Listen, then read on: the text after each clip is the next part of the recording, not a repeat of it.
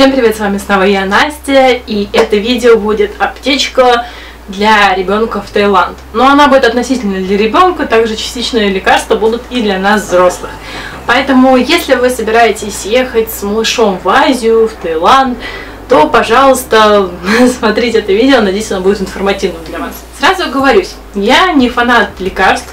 Почему? Потому что мы уже ездили в Таиланд, и, в принципе, я знаю, что если есть какие-то экстренные ситуации в плане а, болит живот, там, я не знаю, какие-нибудь там запоры, температура, все это легко поправимо, можете прийти спокойно в аптеку, а, поговорить с консультантом, и он подберет вам подходящее лекарство. Но бывают случаи, к примеру, как у меня. Сейчас я кормлю грудью, и некоторые лекарства, к примеру, мне нельзя. Допустим, там антибиотики, там, с эдекаином и так далее. Поэтому некоторые лекарства приходится брать в Москве. Так, в целом, я считаю, что аптечка должна быть минимальной. Прям минимум. Если, конечно, не болеть хроническими заболеваниями. А, потому что, смотря обзоры других людей, почему-то все берут с собой чуть ли не чемодан, там, а, лекарств, как будто, я не знаю, они едут куда-нибудь в Африку, в пустыню именно, где нету ни врачей, ни медстраховки, ни аптеки, ни лекарств. А, также, если вы едете в Таиланд, соответственно, делаете себе страховку. Поэтому, если вдруг что-то случится, вы спокойно можете обратиться за помощью. Да, пожалуй, я вам покажу сейчас сразу две косметички, я бы так назвала, в которых лежат основные средства. Туда входят и лекарства, и средства личной гигиены, скажем так. А, все это в мини-упаковках. Итак, у меня заняло все это две косметички, только из-за того, что по объему они не особо большие. И две мази, они просто очень большие по размеру, они, к сожалению, не влезли сюда. Начнем, наверное, с белой прозрачный. А, с... Покажу вам. Мы взяли для Егора ножницы, это средство гигиены. В любом случае, в чемодане, это можно провозить. Также отдельно я взяла Пантенол детский. Это средство после солнышка для того, чтобы кожа не воспалялась. А для взрослых я рекомендую покупать там в Таиланде алоэ вера. Это такая зеленая упаковочка, флакон. Она, в принципе, помогает от ожогов. Но если у вас большие упаковки, то можно поделить на пополам.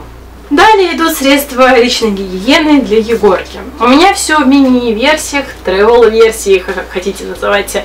Мне не достались еще в роддоме, так что я экономично пользовалась ими. Ну, в принципе, у меня были просто большие э, упаковки, и как-то нужды в маленьких я не видела. Но, видите, они пригодились. Итак, это бережный уход от Johnson's Baby, обычный крем. Также Johnson's Baby крем под подгузник – Пенка для купания, шампунь без слезок, но мы, в принципе, я добавляю в ванну и просто намыливаем голову. И также у меня есть, скажем так, гель для душа, это пробничек от Бёбхен. Этого в первое время просто за глаза. Если что, все это можно купить а, в Таиланде, в Бикси, в аптеке, где хотите, это в принципе все есть. В принципе, дальше, видите, у меня уже здесь осталась такая маленькая упаковка. Сюда еще вошло мыло, Johnson's Baby тоже детское, это для подмывания. А, в принципе, travel версия, я думаю, она нам подойдет, ее хватит на три недели, мне кажется, даже останется. Маленькой косметических, скажем так, здесь находится у меня ватные диски, ватные палочки, а, пластырь детский. Также идет шприц от э, Нурофена, я просто вытаскивать не буду его уже. Также я взяла хиповский чай ромашкой, он не для того, чтобы его пить, а для а, экстренной ситуации, если у ребенка будет запор, чтобы сделать клизму. Поэтому да, с собой я возьму детскую клизму. А почему не микроклизма, так он, по-моему, называется, лекарство? Потому что я пробовала его на себе и могу сказать сразу. Мы также пробовали на Егорке. Оно щипит. А, некоторым, конечно, это нормально, некоторые терпят, но нам почему-то попались именно вот, которые раздражают.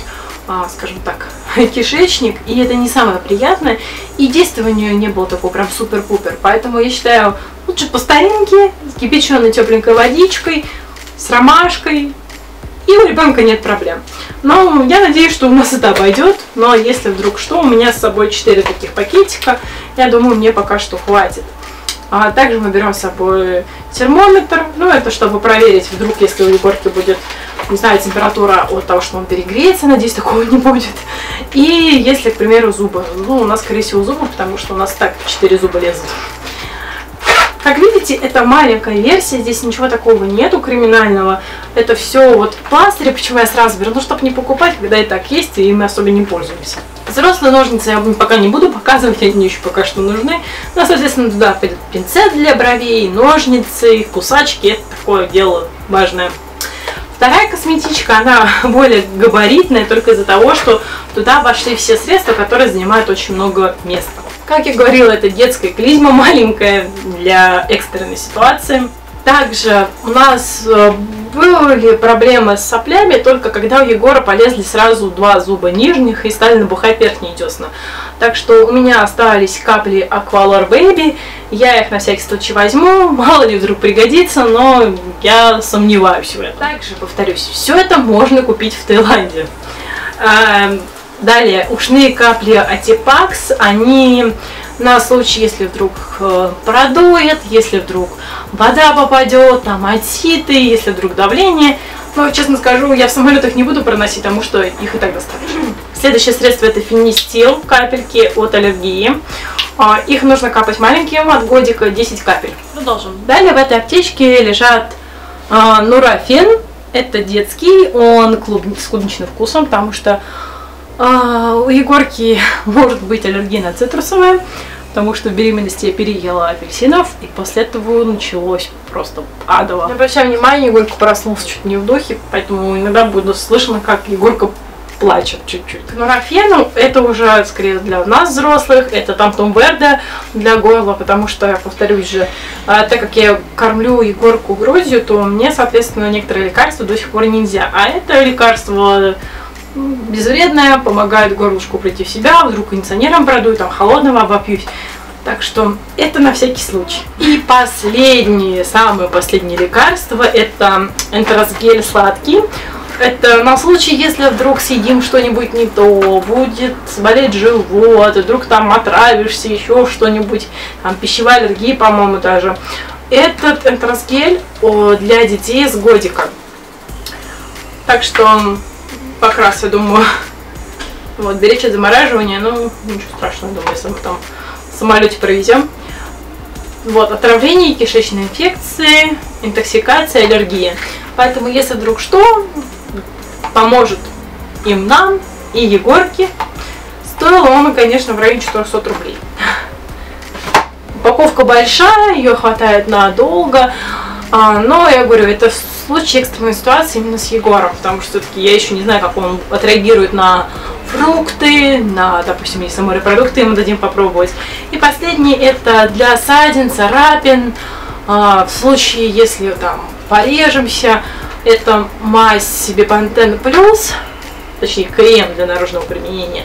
Я хотела взять мазь Баниацин, но, к сожалению, не было в нашей аптеке, поэтому пришлось взять себе Пантен. В принципе, у них похожие свойства. Цена, ну там разница плюс 100-150 рублей, минус 150 рублей. Поэтому я считаю, этого будет достаточно. Вот. На случай, я говорю, экстренной ситуации, все остальное можно купить в аптеке, сходить в госпиталь, воспользоваться страховкой. На этом, пожалуй, все. Это вся аптечка, скажем так. Я считаю, каждого средства должно быть по одному, по одной позиции. А не так, как я смотрю видео, а там в одном видео сразу, я не знаю, куча лекарств от живота, там Рейнис, Помизан, гели, еще что-то какие-то суспензии. Куда столько? У вас желудок просто не такой. Вы там, ну, конечно, будете пировать, скажем так, пробовать есть, но не до, той, не до той стадии, когда вы, не знаю, отъедитесь просто и встать даже не сможете. Вот. Надо есть меру. Ну и по поводу там, я не знаю, антибиотиков, я считаю это вообще опасно, я не, не рискую. И от простуды какие-то такие средства я не беру, потому что, если что, я говорю, это все можно приобрести там. На этом, пожалуй, все. Всех люблю, всех целую. Пишите ваши комментарии, пишите, что вы брали с собой в аптечку. Вообще, если планируете поехать в Таиланд, чтобы вы взяли. На этом, пожалуй, все. Всех люблю, всех целую. Пока-пока!